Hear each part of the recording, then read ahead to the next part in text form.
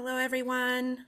Welcome to our special three-part introductory learning series on Early Psychosis 101, Basics for Supporting Students. We thank you for your interest in our learning session today, and we remind you that this learning series is presented to you through a partnership between the Mental Health Technology Transfer Center Network and the Psychosis Risk and Early Psychosis Program Network at Stanford. We'll get started momentarily. Just wanted to open up the room and help everyone get settled in. And a reminder to all attendees today that we are muting all attendees and the session is being recorded so that we can make it available to those who are not able to attend the live event. Again, if you just entered the room, welcome. Thank you for being here with us today for our special three-part learning series, Early Psychosis 101. We'll get started in just a minute. This is session three of the three-part series, and if you missed sessions one or two, we do have them available on our website, and we'll plug a link into the chat box so that you can access the recordings for those sessions if you missed them. If we go to the next slide, I think we're just about ready to get started. Uh, so again, welcome everyone. This is session three of our three-part introductory series on early psychosis. Today we'll focus on transition to college for youth with psychosis. And we have about 60 minutes together today and we're excited to share this space with all of you. So thank you for joining us. On the next slide, we have a few reminders. Again, participants are muted with video off. And this webinar is being recorded. We'll have session slides, the recording, and certificates of attendance sent to you within a week. We also want you to make note that we have the chat box open and available for you to share your comments throughout the session. If your comments are for everyone to see, please make sure that you check the chat box drop down menu and make sure that your chat response is going to everyone and not just the hosts and panelists. We also have the Q&A box open for any content related questions for our panelists. We're keeping track of those throughout the session so that we can respond to them at the Q&A portion of our session later today. And if you'd like to enable captions, you can do so by clicking the CC icon on the bottom of your Zoom platform screen. And just a gentle reminder that we are offering certificates of attendance, but we're not able to offer CEUs for this session. On the next slide, we just have a little bit about the MHTTC network for those of you who have not worked with us before or who are just joining this session and were not able to join the previous sessions in the series. Uh, this learning series is brought to you um, through the Mental Health Technology Transfer Center Network and the Psychosis Risk and Early Psychosis Program Network. Um, the MHTTC network is funded by the Substance Abuse and Mental Health Services Administration, also known as SAMHSA, and the purpose of our network is to accelerate the adoption and implementation of mental health related evidence based practices across the country. Through our school mental health initiative, we bring awareness and we disseminate information and provide technical assistance and training on the implementation of mental health services in schools and school systems. We invite you to learn more about our network by visiting mhttcnetwork.org. And just really quickly on this next slide, I have a quick disclaimer that the opinions that are expressed in today's session are the views of our speakers and they do not reflect the official position of the U.S. Department of Health and Human Services or our funder, SAMHSA. And now I'll pass it over to Dr. Stephen Adelsheim, who will provide a bit about PEPPNET and a little bit about why today's topic is important. And then he'll turn it over to our speakers and we'll officially get started. Welcome, Dr. Adelsheim. Jessica, thank you so much. And, and before we go on, I just want to take a minute to thank you for your amazing support over these three sessions, your organizational abilities, and keeping us all together and on track and sponsoring this for all of us. So, want to thank you. I want to thank Judith Doberman from our PEPPNET network for for your support as well and helping us bring these important sessions to all of you. And it's thanks to all of you for being here for our third session Uh, as you can see on the slide, PEPPNET has been involved in uh, supporting efforts around early psychosis for quite a few years now. You can see some of the work groups that we've been supporting more recently and are very excited to be able to partner on these three sessions, uh, really focusing on, on identification and support for young people in school-based settings as well. Next slide, please. So let's go to the next slide in terms of why this work is important. You know, what, what we've seen, and we've spoken about this a little bit in our previous sessions, is that, you know, early psychosis efforts are really a national initiative, and certainly in our state of California, a major one as well.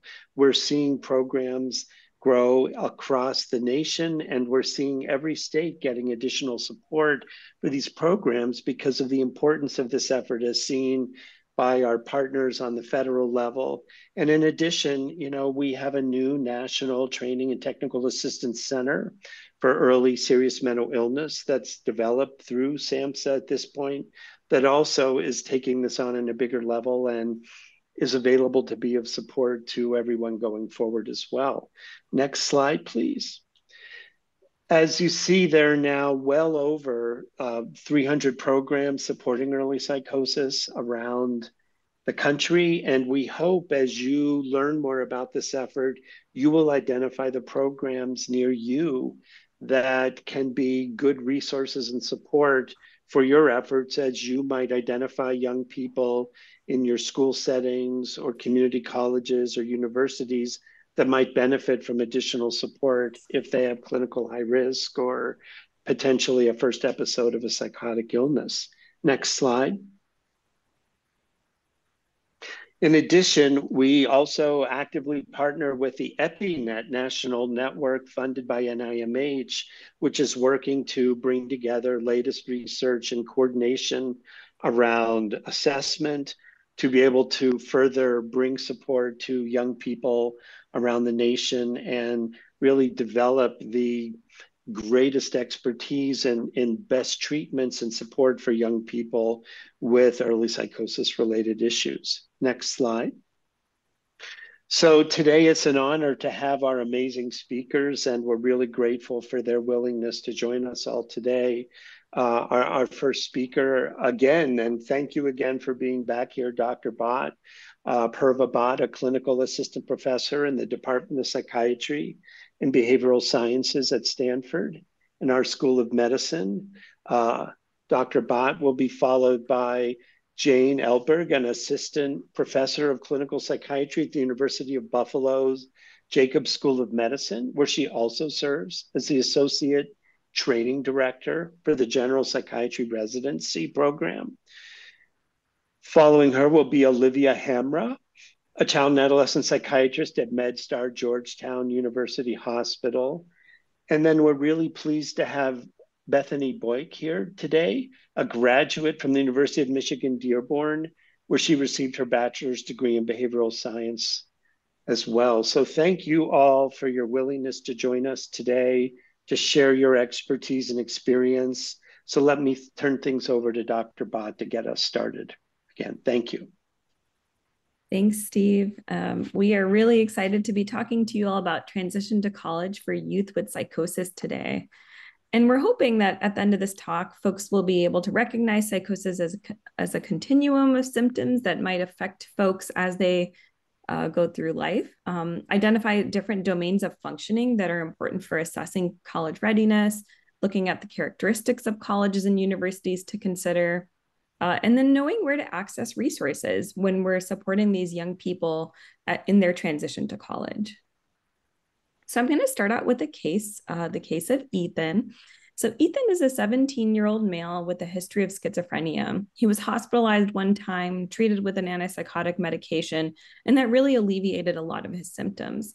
He's now receiving care in a coordinated specialty care clinic for early psychosis, similar to the ones that Steve had mentioned just recently.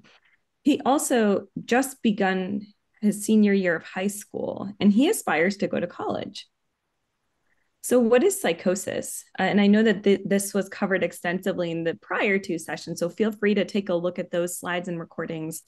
Um, but this is varying degrees of disruption to a person's thoughts and perceptions that make it difficult for them to recognize what is real and what isn't. And it significantly can affect their life and make it hard to function.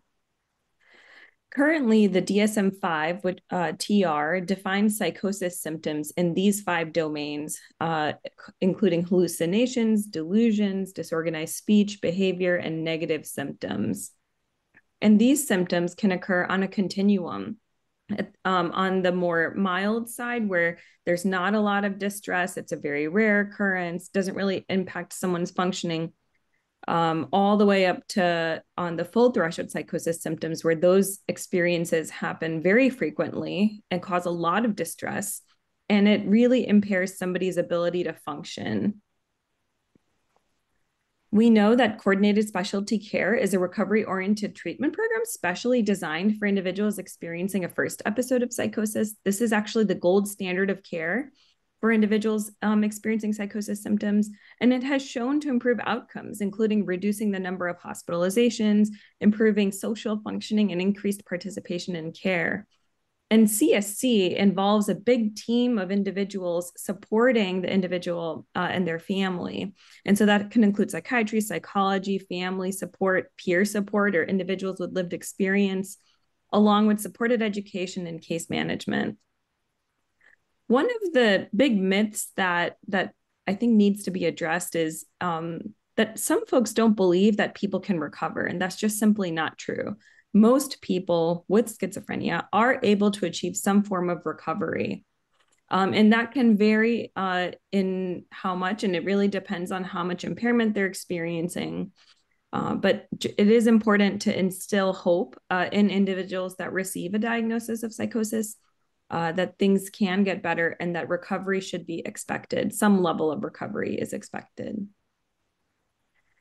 So, going back to Ethan, his psychosis symptoms were well controlled for the past six months. With IEP accommodations, he passed all of his high school classes.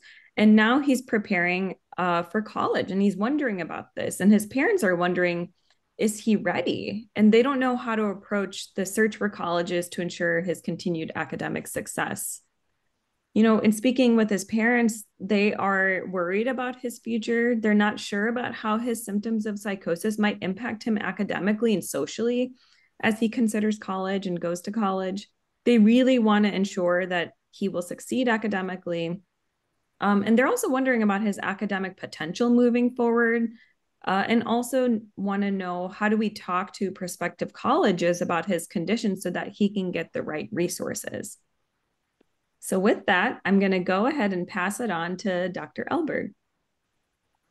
Thank you, everyone. Um, I'm going to talk to you a little bit about how do we think about assessing college readiness um, and understanding some of the domains of transition that need to be considered when we're thinking about whether someone is ready.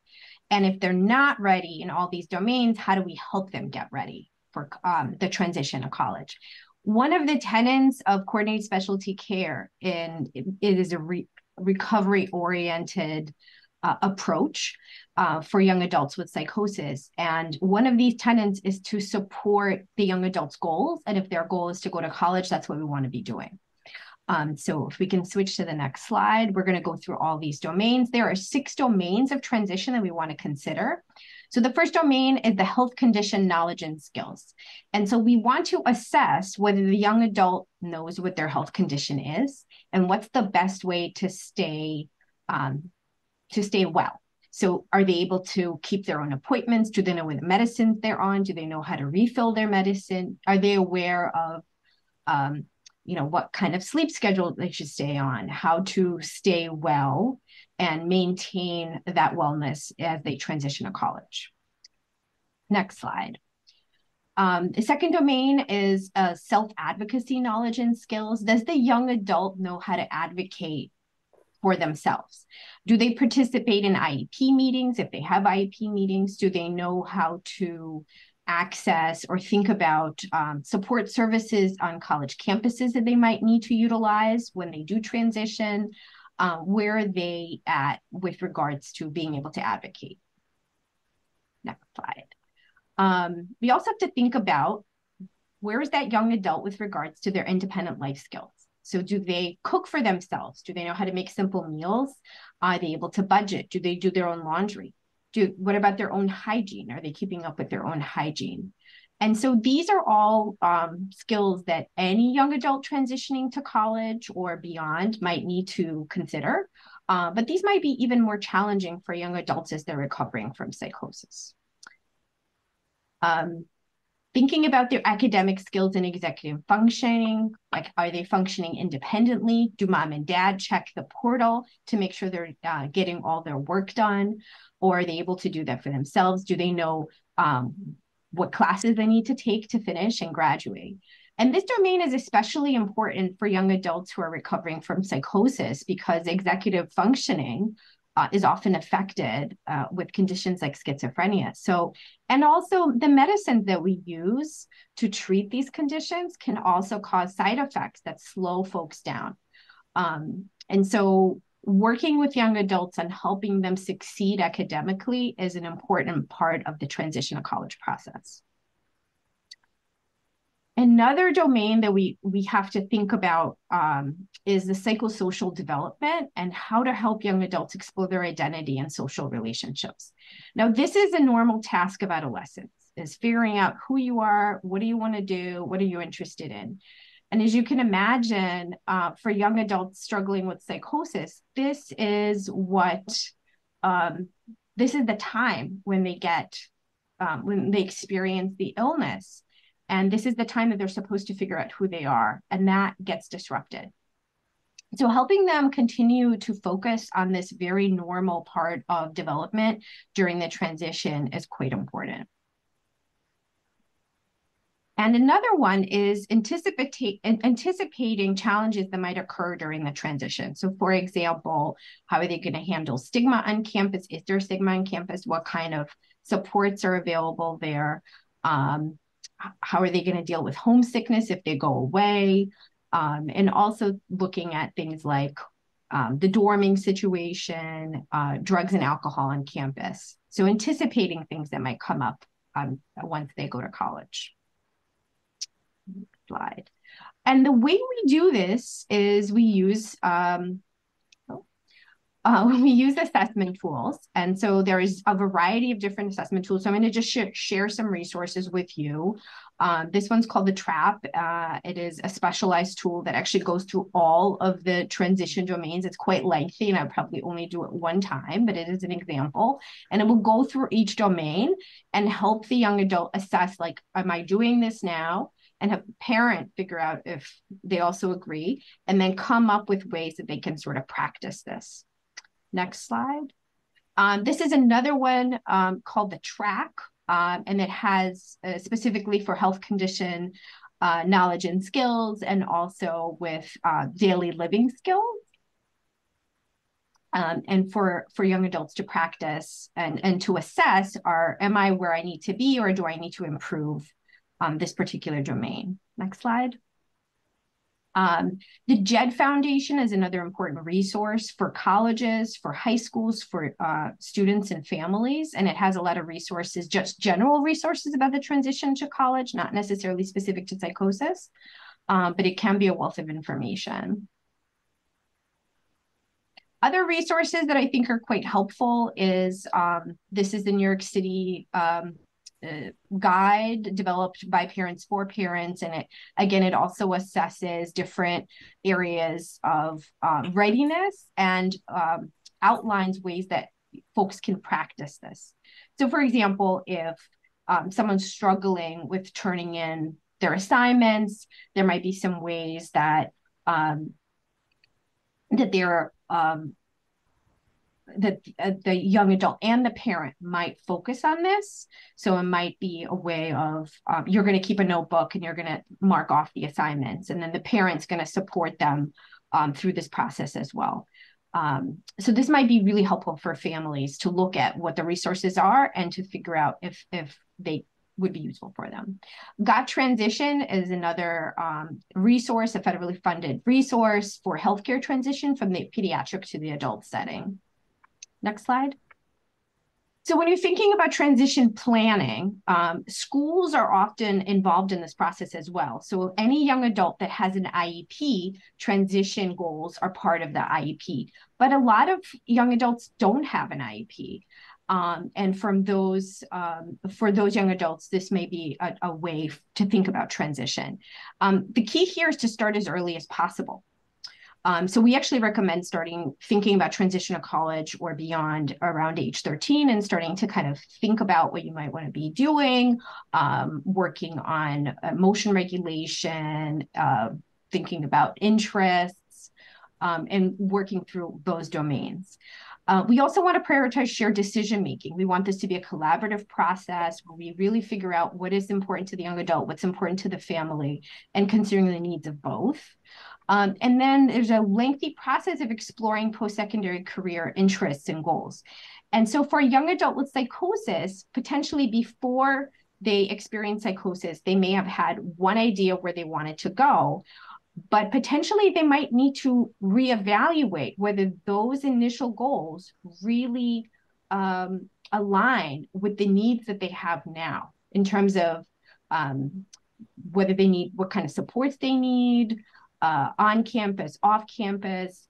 So if somebody might want it to go abroad uh, for college, um, potentially now they might that might not be the best course of action. And so figuring that out together and planning for it um, is something that might need to be done. So expectations might need to be adjusted, but it doesn't mean you have to give up on your on your goals and dreams, and you can still pursue them uh, while being realistic about where the student is at at the moment it's really important to clarify the diagnosis and prognosis. And that by that we mean is where are we at with our current goals? Are there short-term goals? Are there long-term goals?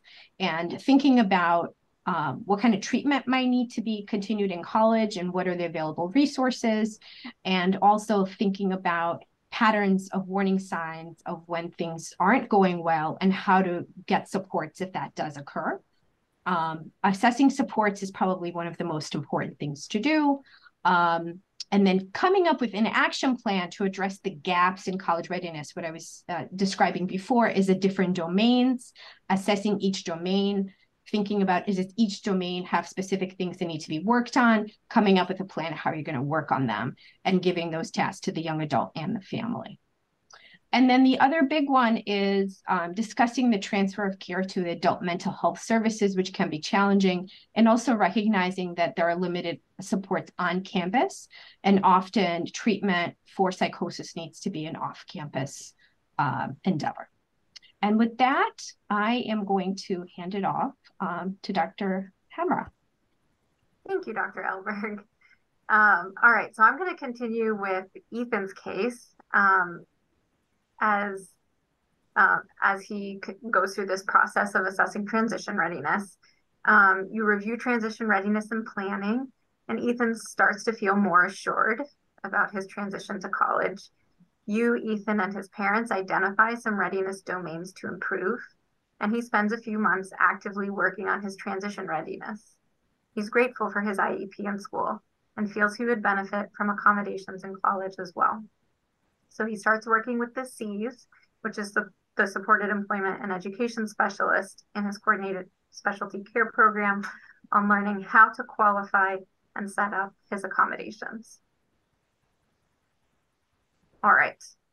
So I think it's really important to note the difference between accommodations in high school and accommodations in college um, this transition from high school to college is a big one in terms of transitioning to independence for any student. Um, and for someone with psychosis, it just adds another layer of complexity. That's so that's why it's so important to have extra support.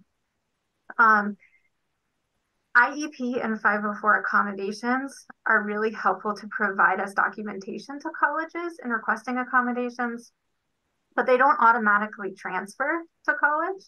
Um, it's something that the student themselves has to request from whatever Office of Accessibility or Disability Services there is on that specific college campus. And then not only does the student need to advocate for themselves with that Office of Disability Services to have accommodations approved, um, they typically also have to go to each individual professor to let that professor know that they need these accommodations. Um, and then the professor carries them out in the class or allows them to, to have those accommodations in the class. So it's a bit more involved for the student in terms of them taking their own advocacy role. Um, and so that's why that domain of transition readiness is really important. Um, with the psychoeducational testing, again, something that's really helpful in getting accommodations approved through colleges. Usually the testing has to be done within the past three years, which is a requirement of IEPs. So again, that's why it's useful to have an IEP going into it. Um, the IEP transition goals, um, that's something to work on in high school. Um, these are goals that are geared towards the students' goals for after they graduate. Things like making sure they're taking the right classes to be able to get into college, making sure they're doing extracurricular activities that might be helpful, and building skills and also building their college application, making sure they're doing things like engaging in social skills groups if that's something that's important. Those are all things that can go into a transition plan working with the high school guidance counselor or the special education teacher, resources that can be really helpful in high school. Um, and then also on the college side of things, again, get really getting to know the Office of Accessibility or the uh, Office of Disability Services, who that representative is, where the office is, and how you can access them. Next slide. So what are the, some of the things that are really important to consider when you're looking for a college that's a good fit? Because not every college is going to be a good fit for every student. And just like Dr. Elberg said too, sometimes you have a student might have goals that they had originally, but then their severe mental illness kind of changes the plan a little bit and you have to reassess those goals and reassess what might be a good fit. Um, so some things to consider housing options like um, are there roommates? Are they, can you have individual rooms like on a suite? Um, are there options to live off campus or to live in an individual um, to live in an individual room? Um, so those kinds of things are important to consider and what might be best for that student. Um, how many students there are in the college, what the class size is. Um, are, is there an option to do virtual classes or are all the classes in person or are all the classes virtual? Again, what might be a good fit for that? how good is the access to healthcare services, not just the on-campus services, but also what might be around that school. Um, where is the college? Is it close to home? Is that important? Um, is it in a city? Is it in a rural area? What's the best fit for that student?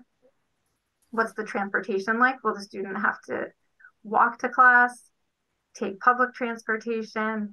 Will they be driving? Um, does insurance transfer? Is that something the student will have to think about in going to this college? Um, what is the access to natural supports, people like family around that campus, um, peer supports, and then also to look into school specific accommodations. I mean, some schools have uh, specific programs for students with disabilities and other additional supports that can be really helpful to know about as you make this transition. Next slide.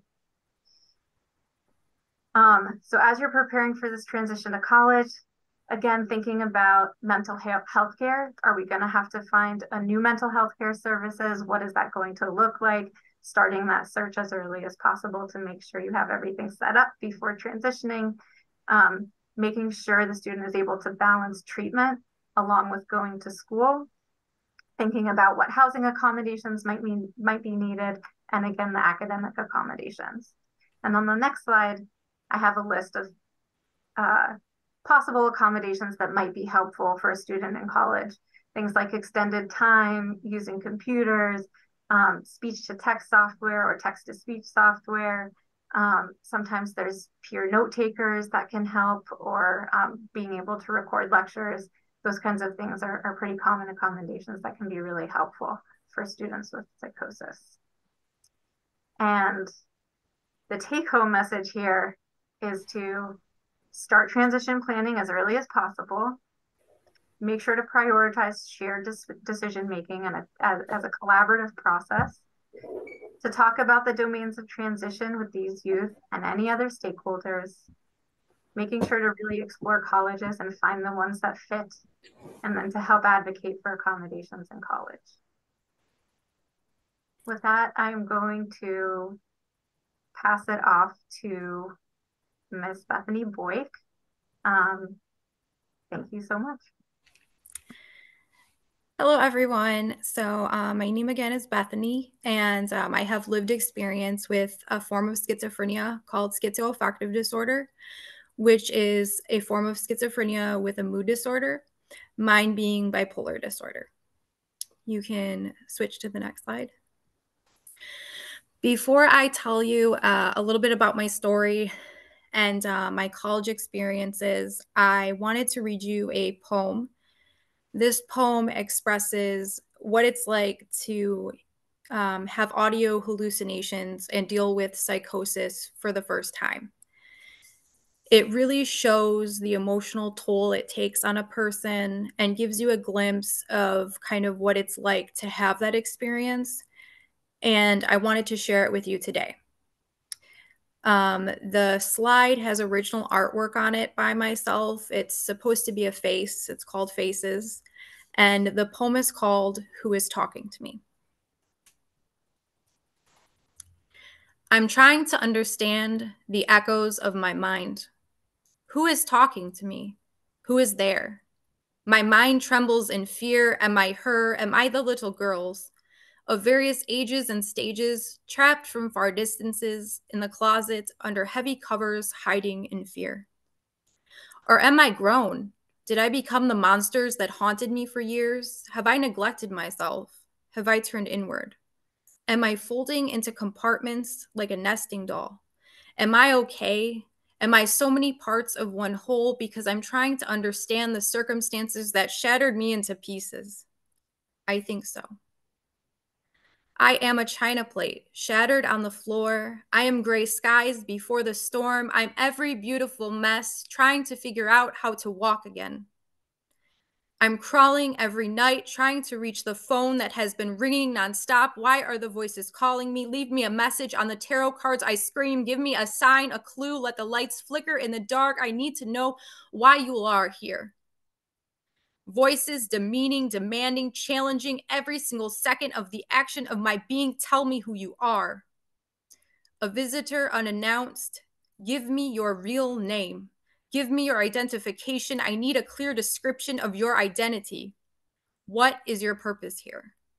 Why are you haunting me? I am speaking to you. I am speaking to you. So you must answer me. Who are you?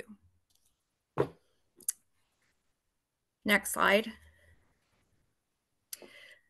Um, so that poem for me is a cathartic experience that shows, like I said, kind of what it was like to hear voices for the first time. I actually started dealing with symptoms of mental illness very early on in my life. Um, around age seven, I started having panic attacks. I had severe anxiety. Um, I dealt with a lot of traumatic experiences and uh, I didn't obviously I didn't have coping mechanisms um, throughout uh, my childhood and uh, middle school years. I was kind of a bizarre kid. Um, I had a lot of um, odd interests like aliens and witches. I was always into things you couldn't see. Um, I did have some visual hallucinations that were never addressed. Um, I dressed in odd clothing that I had made out of different materials and glued pom poms and glitter and all kinds of wild things to my clothing. Um, got made fun of quite a lot. Um, finally, in high school, about ninth grade, um, I started being very suicidal, lots of suicidal tendencies. Um, my moods were shifting really bad. Um, and I, uh, I was failing a test and uh, to me, failure wasn't an option. I was raised by two addicts and I did not want to fail. My goal in life was to be perfect. And I had to be perfect in my head. So I I did something that was quite unorthodox. I started bashing my he- my head against the lab table over and over and over in science class, and the kids just started laughing and yelling for the teacher all different ways because they were like, "Oh, the crazy girl's finally going crazy." You know, and the teacher was like, oh, she's just being dramatic. I wasn't being dramatic. I was literally dying on the inside. They wheeled me down to the guidance office in a wheelchair and called my mother. A knot grew on my head and I just wailed. Um, the principal told my mom that they were going to call Child Protective Services if she didn't seek me out um, psychiatric help. I had asked her previously for psychiatric services, but she said no, I was hormonal and all these different things. I think um, a higher power, something that um, you know my my principal um, talked to my mom that day because um, I I was not well. Um, the psychiatrist said I had major depression, insomnia, and anxiety. I was put on three medications that day, and my mother told me I wasn't really mentally ill and that I didn't need these medications, but I took them and I desperately sought help. I um I took the medications, but they didn't really work well. And you know, I I told my mom I needed to go back and the next month I told my doctor, you know, I'm still having problems not sleeping. I'm just not feeling right. I'm hopeless. And so she changed, um, she added another medication and changed one of them. And I um, had a severe reaction where my kidneys almost shut down and I was in the hospital for seven days. Well, after that, my mom was completely against medication and um, I completely deteriorated. This is where the psychosis really hit. I remember staying in my grandma's basement that summer and it was because I was afraid to be upstairs.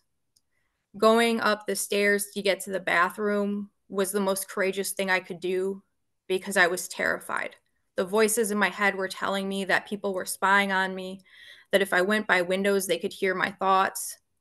If I went to check the mail, which my grandma needed me to do, I felt like I could hear people through their cars trying to interrogate me.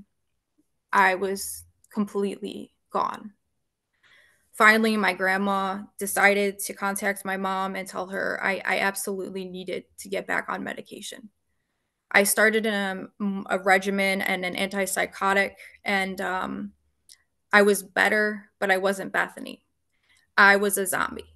And um, being a zombie was not the best because I lost a little part of myself and i i did my schoolwork i did everything i could you know i did my ap classes i you know tried so hard because in my heart i wanted to go to college i wanted to be successful i had plans i had dreams i wanted to do something special because the people around me never had. So i prepared i did different things to get into a good school but the thing is I had to try different medications. From age 13 to 24, I was on 35 different medications, not including all the combinations to get where I am now. Um, simply changing medications means something's not working, and college was very difficult. I got into a great school that was extremely helpful. It had low numbers of students in each class. There were probably 25 or less kids in each class, but you know, I'm constantly changing medications in the hospital, out of the hospital, going to crisis centers 19 times in 4 years. It's takes a toll. I didn't have any any family response really except for my grandma but she had moved to a faraway location and it was hard to communicate and things were just falling apart. I had a found family though. My friends were my family and they were my support. I did not have an iep i did not have support from a lot of resources that i needed. I desperately needed those resources. Um, but finally i i got counseling at my college. I, I learned that the college had counseling, and that helped me quite a bit. And um, I decided that um, through the school, I could get disability resources once they diagnosed me with a severe mental illness. And so, um, although it was the incorrect mental illness, it was bipolar for a while. Then, finally, later on in my life, schizoaffective um, I was able to re- I was able to get certain services like a note taker, extended time on tests, um, to go into a room alone and take my test. These things very much helped. Um, something I feel that um, what we needed was to be able to wear headphones. When you are hearing voices, comments on every single second, every single thing that you are possibly doing, telling you you're a horrible person, you are useless, you are unworthy of everything, you are unworthy of love, no one cares about you, and you're in class and you're trying to listen to a lecture and you can't you can't concentrate. There's no way. You just simply stare. You stare and you stare and you stare. That's what I did you need these headphones. We need other resources. We need to talk to colleges. We need to talk to schools. Like maybe certain kids need things that other kids, you know, don't. And, you know, um, for me, headphones would have been a very good support because all the other time I wasn't in class, I'd be wearing my headphones. This was before earbuds came out. And um, I I needed that. Um, you become very desperate for um, you know feeling that um, you kind of need you need something that makes you feel less alone. I wish we had something for severe mental illness in colleges or in my college that we could identify with that was stigma free and anonymous. In my mental health care center for a um, that I ended up going to eventually after my um, the college counseling center at my school said, you know, we we think you might need a little more help. Um, I went to a different agency outside of them, and they had a schizophrenia anonymous um, group. We need schizophrenia anonymous. We need psychosis anonymous. We need something in schools that people are able to go to to feel less alone because from my childhood to the present, I only felt alone. Um, the days that were extremely difficult were the days where you feel like you can't finish your work, you can't do your assignments because of the symptoms. And we need to be able to talk to professors in a in a way where they don't stigmatize you. I had very amazing professors who were compassionate, who understood, who you know were great. But then I had two professors who weren't at all helpful. Uh, one of them asked me what my disability was, and I told them, but then began to say, well, that disability, you know, having this disorder, you know, you wouldn't even be in college. You wouldn't be able to handle college. So I don't really believe what you're saying. I was crushed. Uh, my whole childhood, I was gaslit and manipulated. And that comment from that professor hurt me so profoundly and made me rethink my diagnosis and me as a person. When really that professor was stigmatizing people with mental illness. That should never happen. Another time, um, it was literally the last class I took in college, and um, I had to be hospitalized. I had told the professor ahead of time I was not feeling good and that I was going to get help. Um, but I was going to do everything I could to get my work done and to pass the class. And, you know, if they needed anything, you know, they could call these numbers and um, I got out of the hospital and I was able to take my test. And um, the professor had called the dean of the school, making a um, comment saying that I should not be able to pass this te- class, even if I passed the test, because I wasn't attending the classes. I understand that, but at the same point, being in the hospital saved my life if someone had a broken bone and they had to go to the emergency room to get their knee put in place or they had to get some sort of surgery and they were out for a few days, how is that any different from me trying to save my life? So I ended up um, talking to the dean and I told them, you know, what what happened, and they were very, very um, appropriate in their actions and they said no the professor was wrong. I passed the class and i was able to graduate on time with my peers. I'm so thankful for that experience. Um, i want to add that there are tools we can use um, people who are educators people who are counselors different things that you can actually give your students with psychosis, with different mental illnesses that can help them, are things they can carry with them, things they can put in their backpack in a very small pouch, a Ziploc bag, anything small. And these things will help ground them and bring them to reality. When I say ground, I mean take you from being in an alternate space or an ultimate headspace, a different thinking perception, and bring you back to present tense. Where am I right now? Because sometimes hallucinations and delusions make you feel like you're not where you're supposed to be. They can make you feel like, you know, you are being trapped in some jail somewhere, but you're currently in your college desk so, how do I get from jail back to my seat? You have to ground yourself. One, go outside your house, find something that is nature related and that you can keep in your hands, or I mean, in a bag that you can put in your hand and kind of touch like a rock. This rock is your home.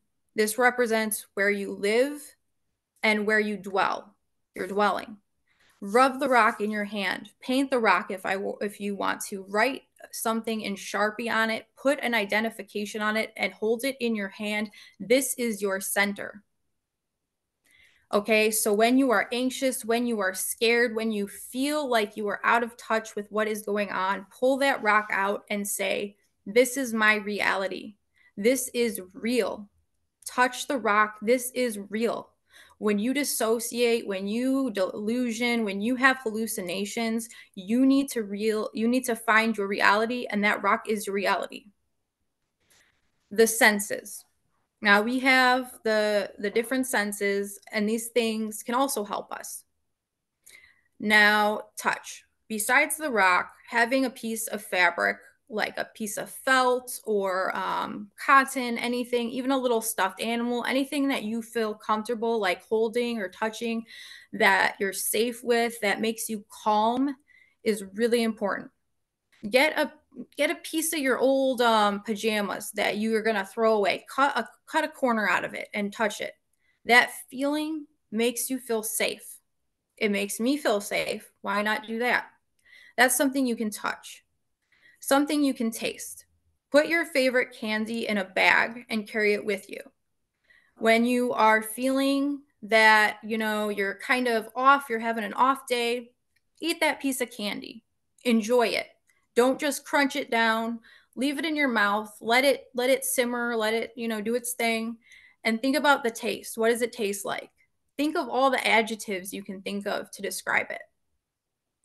Now think of things that um, you can hear. Put your favorite song on. You know, grab your headphones with your phone or just grab your phone because pretty much everyone has a phone. And if you don't, you know, go to your um, library, find something, music, radio, anything you can do. Listen to some music. Put on something that makes you feel comfortable. Um, next, um, put something you can smell in your backpack. This might sound a little weird, but it trust me, it works. Lotion, if it's lightly scented, put it on your hands, rub it in, feel it, smell it, go somewhere nice. Go on a vacation. Take some coconut lotion, smell it in your hand, go to the beach. If you can't do lotion, if it's if if, if you have a classroom where there's no scents involved, go to the bathroom, put your favorite soap in a little bottle, wash your hands. Smell your hands Something I was taught in therapy was that if you feel extremely unwell, either suicidal or very out of touch with reality, splash your water, I mean, splash your face with ice cold water. This can help shock your nervous system and bring you back to kind of like um, your center again, like what I was talking about. Again, these are things that affect your senses. These are things you can carry with you that you always have uh, with you that can help. Pictures. Put pictures that are actual pictures, not pictures in your phone. Put some actual fun pictures that you can touch and feel and look at the color and move around that make you happy. Put them in your put them in your backpack. Just a couple that you can look at that make you smile. Anything that makes you smile. Because happiness is something people shouldn't be able to take away from you and your pictures remind you what is happy. Happiness. Um, finally, um, in the end, my last suggestion is that besides the pictures, um, put an emergency list in your wallet. This emergency list goes right by your ID. Even put it around your ID. When they're looking through your bag, they can find it. If you have an emergency of any kind, have your medications list on this on this paper. Have your diagnosis on this paper. Have medications you can't take because you're allergic to them on this paper. Hospital preferences if you have them. Names of people that you trust that can be contacted. And then things that calm you down. Laminate this paper and put it in your wallet. This could save your life. Again my name is bethany boyk you can read my story which is out on amazon and barnes and noble it's called Diary of a Schizophrenic. You can hear my full life story in this book. You can see art that I've made, diary entries, and other poems. Check it out. Thank you for your time. I'm humbled and honored that you have listened to me. Here's some more information. Next slide. These are some social media handles that um, I wanted to just display real quick, and you can look at these later on in the future. Next slide.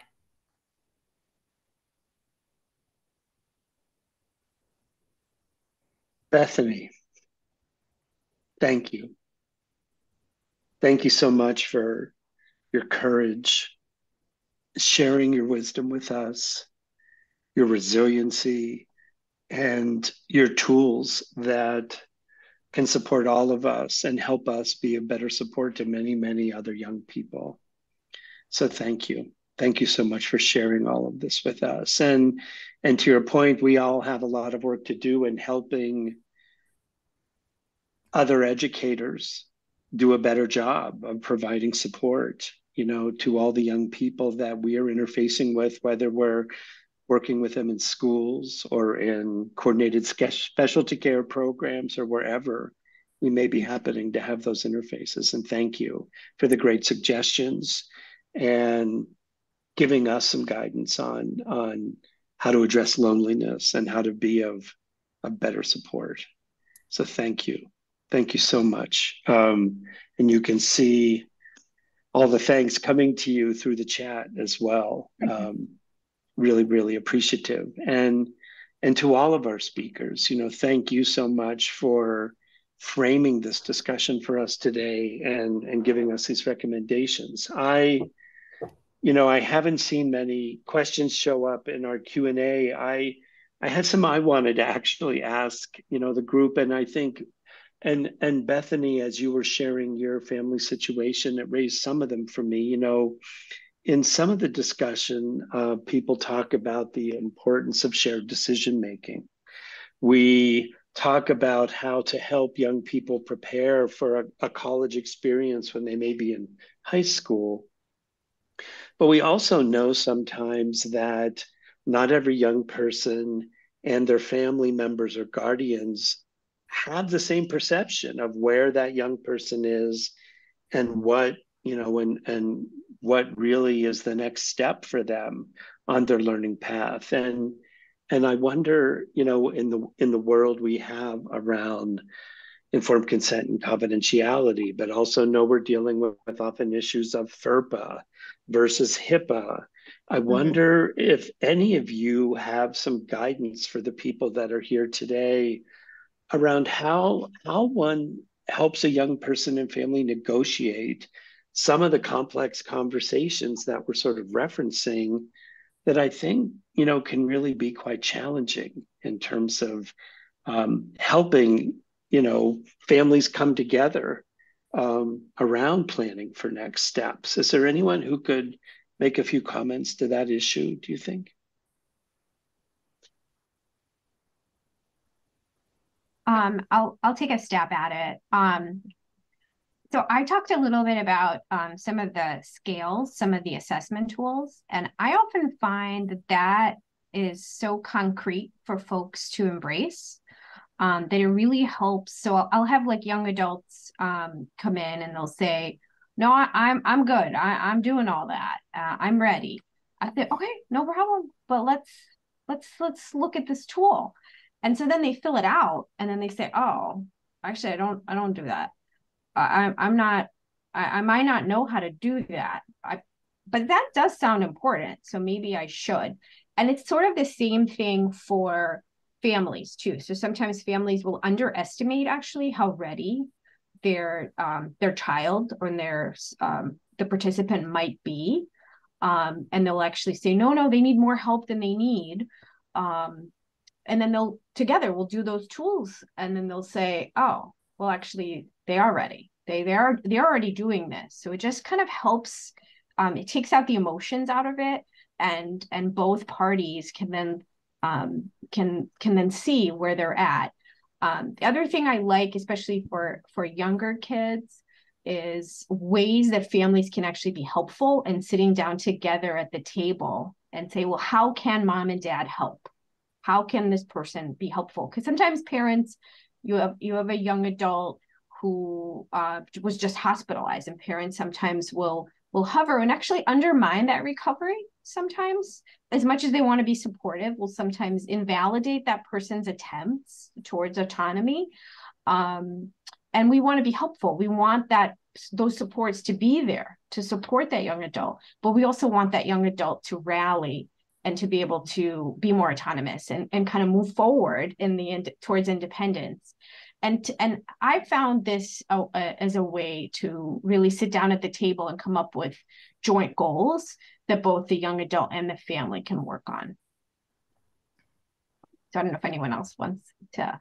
Um, just to, thing I'll just oh sorry go ahead. Oh, go ahead. Um, I just wanted to bring up also that I think a lot of times people, what I have found is people think like, okay, it's either I finish high school and I go to work, or I finish high school and I go to a, a four year, know, like college university program.